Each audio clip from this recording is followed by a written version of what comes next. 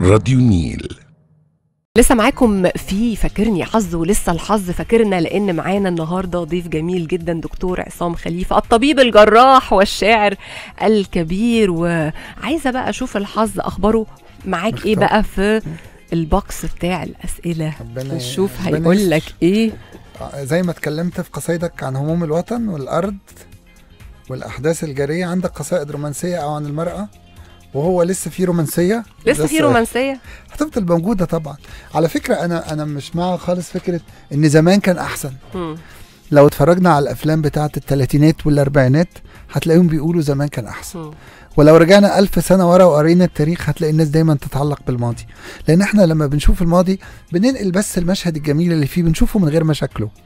أو فكرة محاولة الهروب من الحاضر بتخلينا نشوف دايما الماضي أجمل. لا ولا الماضي أجمل. كل عصر ليه مشاهده الإيجابية ومشاهده السلبية.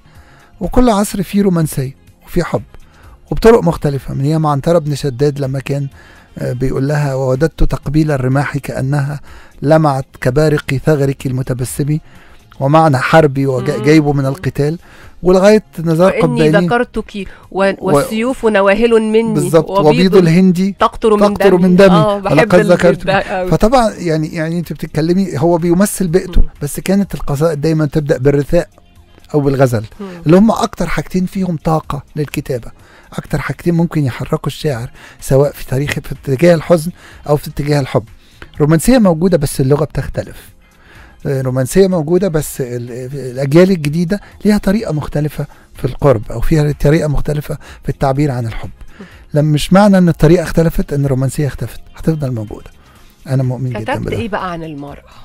ما فيش شاعر ما كتبش في المرأة وأنا يمكن ليا حاجات كتيرة جدا كتبت يعني ومن أشهر أعمالي كانت العطر بس أنا عايز أسمعكم آخر حاجة اتكتبت. عن المرأة وكان ليها صدى دمه خفيف جدا في الأمسية الأخيرة وهي كانت الأخيرة دي جميلة جدا كانت كانت آه، موفقة آه كانت لازم موفقة. أشير يعني ليها إنه يعني كان الناس يعني فيها بتسقف من قلبها يعني الأجمل كمان من التسقيف يا إنجي إن الناس كانت بتسقف في أماكن التسويق مم. ويمكن دي الحاجة اللي أنا بفرح بيها قوي. بحس إن في وعي.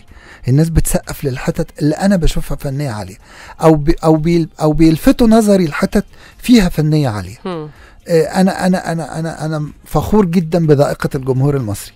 وبرفض تماما اللي بيتهم الجمهور المصري بالتسطح الناس اللي كانوا حاضرين في الأمسية هم الناس اللي ممكن يسمعوا أغاني المهرجانات على فكرة. مم. مش مش هدعي إن هم آه، يعني طول الوقت. لكن لكن عندهم ذائقة وبيتأثروا بالشعر وبيفهموا القصيدة الفصحى. ربما الجو بتاع الأمسية ربما النماذج اللي أنا ممكن أكون بذلت جهد إن أنا أطلع نموذج آه، بسيط وفي نفس الوقت متقن ومحتفظ بأدواته الفنية هسمعكم. بقى حاجة بقى؟ عن المرأة بس بقى مش هنعترض في ناس بت- بتعجبها في ستات بتعجب معظم الستات. ال- عنوان النص هو غريب شوية الفصل الأول من الباب السابع من الجزء العشرين من موسوعة تعريف المرأة. أيوه أيوه. هنشوف بقى عرف المرأة إزاي. المرأة طفل لم يكتب في خطة سيرته الذاتية أن يكبر. تحمل فرشاة وردية فتلون أركان الدنيا وتخط تفاصيل تفاصيل تفاصيل المنظر. ترسم للكون ملامحه وتميز ذائقة الأشياء فتراها تمنح للحزن بلاغته بدموع وملابس سوداء وتزين الفرح بفضتها وبريق قلادتها الذهبية ذات مساء فتصوغ بأفق تمردها حرية طير وسماء وتزخرف من علب التجميل الوجه الشاحب للأجواء. هي نشوة حضن ولقاء. ومذاق الراحة في سفر قاس سادي الأهواء. أكمل ترحالك بامرأة فالنسوة واحات الصحراء. ورسائل سلوان أخضر وتذكر المرأة طفل لا يكبر. تحسبها صلبا لا يكسر. وتذوبك باللور السكر في شربة ماء. الله. ترسل للهاتف بهجته وتعاند حرصه. توقظ بالخاتم زهوته إذ تلمس فصه. تمنح للشعر أناقته وتجمل للشاعر نصه. ويفوح العطر بصحبتها إذ يكمل نقصه. يبحث عن حقل تألقه فيلاقي فوق ملابسها الجذابة فرصة. هي بطل الغنوة والإطلالة والقصة. لا تحلو بغياب المرأة جلسة. لا تكمل من دون المرأة رقصة. المرأة طفل لا يكبر. المرأة لا تكتب لا تقرأ لا تسمع بل تشعر. فتذكر. لا تكذب صوب تساؤلها. لا تكذب صوب تساؤلها. أو تصدق. لا تصمت عند تحاورها أو تنطق. لا تغضب إن وضعت لسياق حديثك تفسيرا أحمق. إن قتل العقل على يدها وانتحر المنطق لا تقلق فالمرأة طفل يسعده طعم الكاكاو ألوان الحلوى وشركة فنجان القهوة وجموح الرقراق الأزرق. المرأة يمكن أن تغضب أن تقتل أن تحرق لكن بنقاء الإحساس ستشرق. وتصير عطاء مجنونا لا محدودا إذ تعشق. للمرأة في المثل الشعبي جذور وبقاء فتراها خلف العظماء ووراء مصائب كل الدنيا فتش عن آثار نساء. المرأة داء ودواء أنشودة سعد وشقاء. لا توهم نفسك أنك قد أوقعت امرأة وبأنك داهية جبار. المرأة هي من يختار من يملك في العشق من يملي وقع اللحن على الأوتار. من يملك في العشق خيوط قرار من ينأى أو يقبل الاستمرار. من يسكب فوق اللوحة ألوانه لتناسب قصدا فستانه. المرأة في العشق هي الأطغى. فرعون أرق أعوانه. كم رجل من قهر امرأة أخفى بالبسمة بركانه.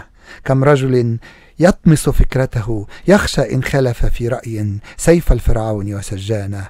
كم رجل يكتم إيمانه؟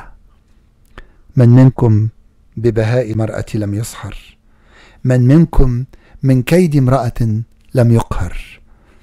أو قدم قوته قربانا لدموع صغير لم يكتب في خطة سيرته الذاتية أن يكبر. الله. الله. حلوة جدا. بس أنا بس أنا ما عنديش اعتراض على أي حاجة. أنا عايزة بس أقول تعليق.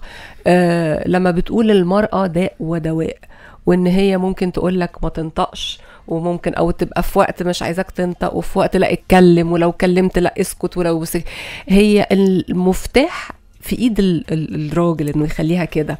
آه، هو الراجل بحاجة بسيطة جدا ممكن يخليها الداء وممكن يخليها الدواء. بكلمة صغيرة بلمسة صغيرة بلفتة كده حانيه بحاجة صغيرة جدا. مش بالألماظ والله مش الناس بتبقى فاكرة كده لكن بالحاجات الصغيرة ممكن الست دي تبقى داء وبالحاجات الصغيرة الحلوة بقى ممكن تبقى دواء. متفق جدا معاكي وده بيؤكد إن سيكولوجية الست تختلف عن الرجل. ده مشهد مهم جدا. آه إحنا في عصر حقوق المرأة مش هننكر ده. لكن الست كائن مختلف. يعني أنا عايز أقول في القصيدة ما تتعاملش معاها كند. ما تتعاملش معاها إن هي زيك هي مختلفة عنك هي men بتحكم from Mars women from Venus ممكن بالظبط. من المريخ هي هي نفس. الكتاب ال- المشهور ده آه. هي نفس الرسالة الست كائن مختلف قد تحيد عن المنطق لكن ليها مفاتيح أخرى أنا هي بتؤكد نفس رأيك ليها مفتاح ممكن ما يكونش المنطق ممكن يكون طعم الكاكاو وشركة فنجان القهوة وجمال الصحبة لا تجيب لي والسلوى. الشوكولاته يا بلاش بالظبط. يا ولا روح بالظبط. رجع البطاطا وفي بالظبط، وده آه. يطرح موضوع إيه عشق الستات كلها للشوكليت ما حدش بالظبط، آه. ما حدش فهم سببها لغاية دلوقتي بالظب لكن يبدو إن في آه، يعني أقول لك أنا أقول لك آه، السر إيه السر ليه بقى الشوكولاتة أو الكاكاو فيها مادة السيروتونين. طب مش بتأثر في الرجالة ليه؟ ما هو ده سؤال. أنا دكتور ومش عارف أجاوب. ما هي ما أعرفش آه. في تركيبة آه. الست بتعمل سعادة. بت بتعمل سعادة لأنها بت آه. بتطلع آه. مادة السيروتونين اللي هي الماده اللي بتعمل السعادة في الجسم. okay؟ ليه بقى؟ لأن الراجل بيبقى كابسها وكابتها ومزعلها. ممكن. بس لو جاب لها فهيساعدها. الموضوع فهتسكت كاظم الساهر ونزار قباني يمكن هذا ال- الدويتو. من أجمل من أبدعوا أغاني للمرأة ولا إيه رأيك؟ طبعا هو نزار يعني أنا أنا هنحاز لنزار مش عشان طبعا هو شاعر. هو صاحب أنا الكلمة. أنا بشوف نزار محطة من محطات الشعر العربي. طبعا. محطة حقيقية. حتى كان في نقاد كتير جدا بيهاجموه لأنه جماهيري وكان يكتب ينشر كل ما يكتب. ليه نصوص طبعا مش بقوة لكن أنا بشوف إن الصياغة اللي بيعملها نزار دي هي صياغة صعبة جدا إنك تجمع بين الفنية والجماهيرية أن تصل بقمة الفن إلى عمق المجتمع. إضافة بقى لمدرسة نزار واستخدامه للفصحى الدارجة اللي هي فصحى بس بينتقي المفردات تكون بسيطة جدا. هو من أكتر الناس اللي قدروا يتواصلوا مع المرأة ويعبروا عن سيكولوجية المرأة. أنا أعتقد هو وإحسان عبد القدوس. إحسان عبد القدوس في الرواية, في بالظبط. ونزار ون- في الشعر. ونزار في القصيدة آه. طبعا. مفيش كلام مفيش كلام. وعبر عنها كمان بعصرية بمفردات العصر بمفردات المرأة العصرية. فكان نزار معبر جدا نتفق أو نختلف معاه في بعض النصوص لكن هو هو مدرسة كبيرة و و و وشعراء كثيرون يتوقفون عند نزار قباني. آه كاظم يعني عادة ال ال ال ال ال الأغنية تحمل القصيدة على جناحيها لأن الأغنية فيها موسيقى أعلى من موسيقى القصيدة وهي ال- الميوزك المسموع وفيها صوت. المطرب وفيها أداء كل الحاجات دي بتساعد في الانتشار لكن أنا بشوف إن كاظم استفاد أكتر من نزار قباني أكيد هو استفاد مم. من حب الناس مم. وعشق الناس لنزار ربما نزار استفاد من عبد الحليم حافظ ونجاة في, في, في, في مرحلة من المراحل لكن حينما ظهر كاظم كان نزار قارئة. الفنجان قراءة إيه الفنجان ده؟ طبعا آه آه. طبعا وهي قصيدة سياسية كمان جلست والخوف بعينيها تتأمل فنجاني فنجاني المقلوب. المقلوب آه, آه يعني آه آه. حتى مطلع القصيدة مم. ودخلتها غير تقليدية فجه كاظم بقى أخ جنى جنى جزء من إن لما إنه يترجم شاعر كبير في أغاني في عصر كاظم أنا بعتقد إن ده كان تحدي وحقق تميز حقيقي. وتميز إحنا بنلمسه لغاية النهارده فطبعا هم دويتو كان أكثر من رائع